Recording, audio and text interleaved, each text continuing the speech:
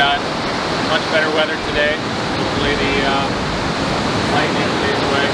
All right, so it's going to be Windward Leewards with a gate. Um, I guess for anybody that's not familiar with how to use a gate, you just have to go in between the marks and around to the outside. And uh, I'm assuming they'll run two laps per race, time permitting. Um, at five minutes, I think it's a red flag goes up. Four minutes, a blue flag with a white square. Yeah, goes up. At one minute, that blue flag comes down. And at the start, the red flag comes down.